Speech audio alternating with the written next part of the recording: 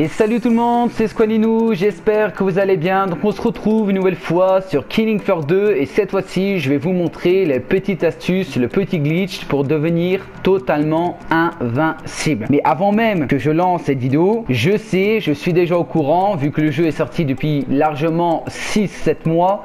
Je sais que le glitch tourne sur YouTube, mais moi je ne l'ai pas découvert sur YouTube, je l'ai découvert en ligne avec des potes dans une partie. Il y a un mec euh, qui joue avec nous, un inconnu on avait laissé la partie publique. Il y a un mec qui est parti se coller à un mur et on s'est rendu compte que nous on était tous morts et que lui restait en vie sans même que les zombies le voient et qu'il était intouchable. On a commencé à vouloir faire comme lui et on s'est rendu compte que c'était un glitch. Et après je me suis dit bon j'allais faire un tour sur YouTube, c'est pas possible, ça, ça doit, ils doivent être au courant les gens. Et oui, les gens sont au courant de ce glitch. Il y en a sur beaucoup de maps. Donc du coup on va partir en matchmaking en ligne. Donc là moi je vais rester en privé tout seul. Donc euh, région Australie, bon ça c'est moi qui mets. Euh, invitation uniquement, 4 vagues, difficulté, euh, bon on va mettre normal, hein, c'est un exemple, hein. on pourrait le mettre en enfer sur terre, hein, c'est le même délire. Donc là pour ce qui est d'un map les gens, je vais vous dire de prendre avant-poste parce que le bug, moi je le connais sur avant-poste, je l'ai pas appris sur les autres cartes comme euh, Labo Biotique, euh, La Ferme, Paris en cendre, des trucs comme ça. Donc là vous mettez avant-poste, survie, ce qui est logique. Donc là on a mis en normal, mais si vous faites le trophée d'enfer sur terre, bah, vous mettez enfer sur terre en 4 vagues pour que ça aille plus vite, ça sert à rien de mettre du 7 ou 10 vagues, on s'en fout, c'est juste pour obtenir le trophée. Et puis c'est parti, donc là je lance. Donc du coup ce glitch là ne va pas vous rendre invincible à 100%, mais plutôt à 99%. Je m'explique. Euh, le bug où je vais aller, logiquement, les zombies vont pas vous voir. Il va arriver des fois qu'ils vont venir se coller à vous et ils vont rentrer dans le bug et ils vont vous toucher et vous allez perdre de la vie et vous allez tout bonnement mourir. Donc j'ai pas envie de vous dire que vous serez invincible à 100% parce que c'est pas vrai. Vous le serez à 99%.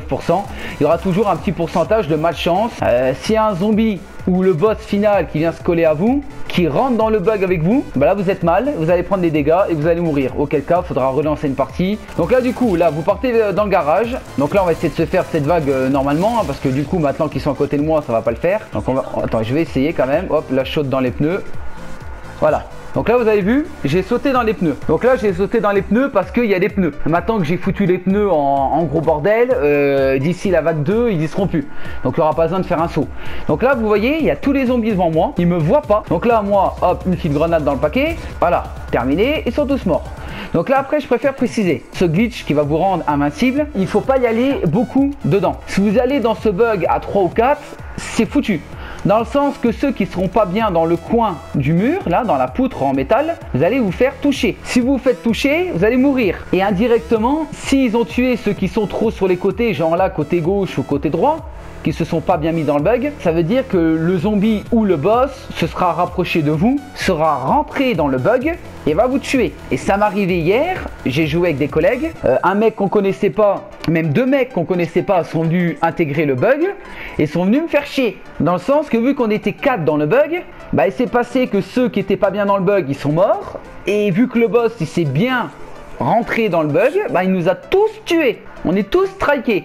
Donc c'est pour ça, si vous le faites entre potes, n'y allez pas beaucoup. Logiquement, le bug, il est pour une personne. À la limite, une deuxième personne peut le faire avec vous, en se collant bien dans le coin au maximum et en espérant qu'il n'y ait pas un zombie ou le boss qui repère votre ami. Mais bon, moi je conseille de se mettre tout seul dedans. Vous pouvez à deux maximum. À partir de 3, c'est fini pour vous. Hein. Donc là, vous voyez, il me voit encore pas.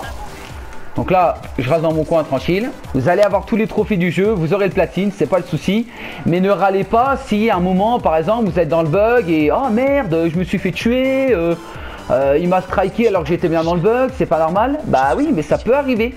À cause d'un de vos collègues qui s'est pas bien mis dans le bug, ou tout simplement parce que le boss ou un ennemi se dit tiens, je vais m'approcher du mur, ah bah tiens, euh, il y a un gogol qui est dans le coin, je vais le frapper, je vais lui foutre des coups et là il va commencer à vous en foutre plein la tronche et là vous risquez de mourir tout simplement.